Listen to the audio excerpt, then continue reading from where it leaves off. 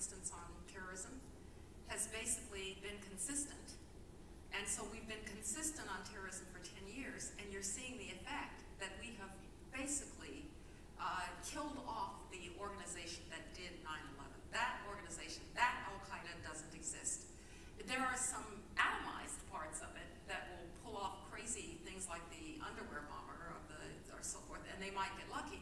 But the organization that did 9-11 doesn't exist anymore, and that was because you had continuity for 10 years.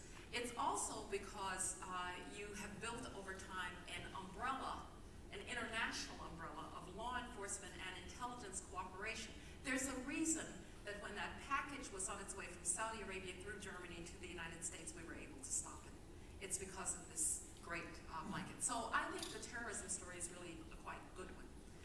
Um, I happen to think that the, the biggest thing that you have to do, and you know, we can talk about what you do about Syria, what you do about Iraq, what you do about uh, Iran, and so forth.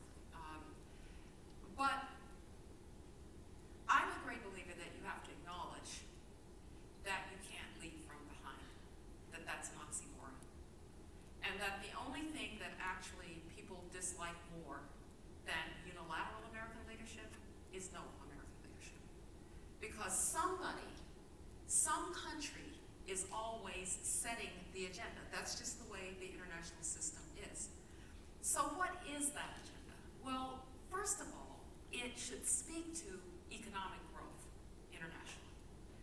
How do we speak to economic growth internationally? Well, it's not by sort of from the sidelines chirping at the Europeans about what they ought to do about the Eurozone. They're going to have to decide that based on their own politics.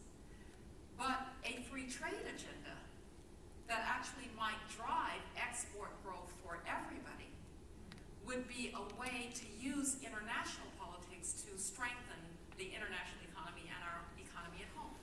And on that one, we've been absent for the last three and a half years. The only, if you're worried about the rise of China, consider the following fact. Uh, by the way, the Chinese are not going to are not going to challenge us militarily until we're all too old to care. Unless we do something really stupid, they will not challenge us militarily. But in the time that all that we did was to sign, was to ratify the South Korean agreement, the FTA, the Colombian FTA, and the Panamanian uh, FTA, the Chinese have signed 15 FTAs and are negotiating 20 more. We've been absent on the trade front, so reestablish the trade front. Secondly, energy. I have never seen anything warp, distort diplomacy like $147 per barrel oil in 2007.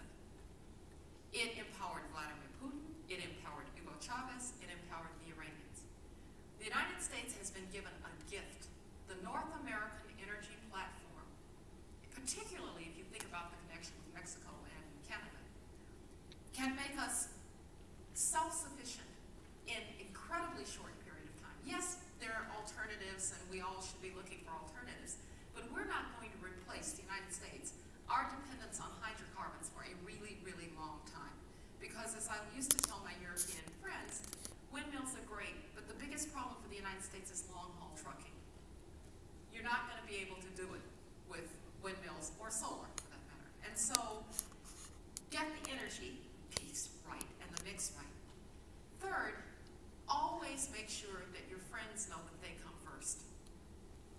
Don't, don't send out a, a reach out a hand of friendship to Hugo Chavez. He's going to bite it off. Don't embrace the Iranians. They're going to hit you in the head.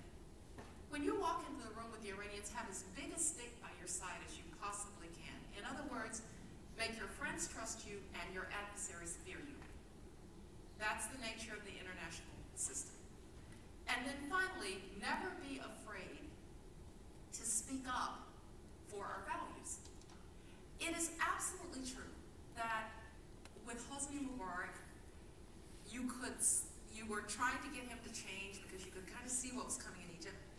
You don't have the option of not dealing with the Egyptian government because it's authoritarian. You don't have the option of not dealing with the Saudis because they're authoritarians. But when a revolution breaks out in Iran or in Syria, two states that have done nothing but undermine American interests for decades, you can certainly find a voice to speak out uh, there and to try to try to help. And so I tend to think of this more as a matter of principles from which you lead, rather than how do I deal with this problem or that problem. And as I listen to the election campaign, the one question I never listen to the answer to is, what will you do about X? Because the person who says, on day one, I will, on day one, you won't. Right? On day one, go into the Oval Office, you will look around, and you will say, oh, I see. And then you won't be able to turn the ship of American foreign policy in one day. And so, um, you know, when I would advise candidates going all the way back to George W. Bush, I would say, you know, resist that moment when somebody says, what is the first thing you will do? Find my desk, right? Call my friends on the phone. Uh, because in fact, it takes a lot. So, now I'm very respectful of the folks who succeeded us because it's harder in there than it is out here. Um, I can remember very well going to the front porch, you get the, you know, newspaper, it's the Washington Post or whatever, you wrote, open up the editorial says, the Bush administration should unite the world uh, behind tougher sanctions against Iran. You think, why didn't I think of that? You know, it's actually not so easy.